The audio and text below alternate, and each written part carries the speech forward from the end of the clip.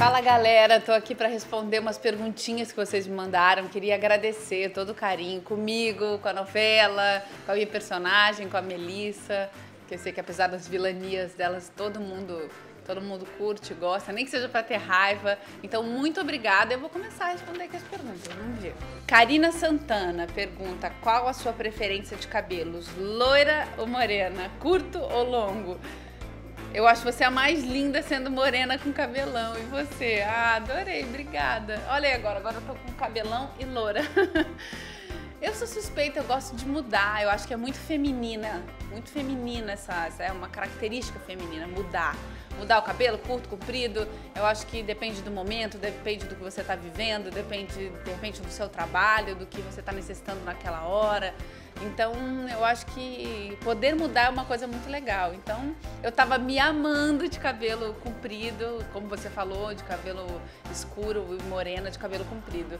Mas eu não vou negar não que eu me sinto mais eu, assim, com cabelo loiro mais claro, porque eu tenho cabelo mais claro, então fica mais próximo do, do meu cabelo natural. Tenho gostado. Agora, o cabelo comprido ou curto? O curto eu fico para mudar, para me divertir ou por um trabalho, mas eu gosto mesmo de um cabelo comprido.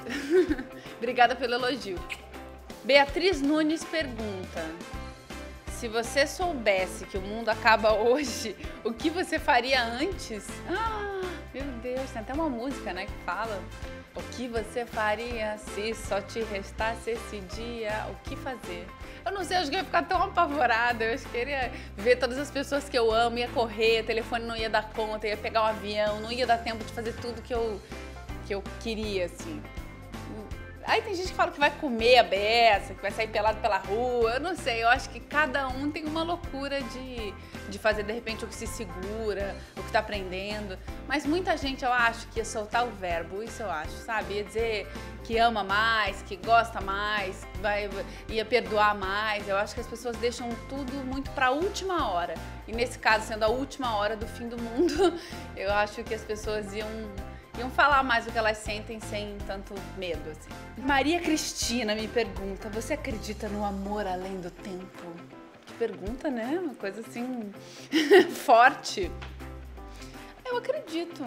Eu acredito em outras vidas, eu acredito que a, a, a sua energia é, você coloca no dia a dia, nas coisas, ela retorna para você. Então, eu acredito que o amor também é assim. Se você é, dá amor, se você de repente tem um grande amor, por que isso também não passar para outra vida?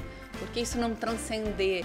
Né? E eu acho que pode ser amor não só de homem e mulher, amor de mãe com filho, é, os vários tipos de amor. Eu acredito que pode sim transcender uma vida e ser muito grande nessa vida também. Galera, é isso então. Obrigada pelas perguntas, pelo carinho mais uma vez. Um grande beijo para vocês e até a próxima. Tchau.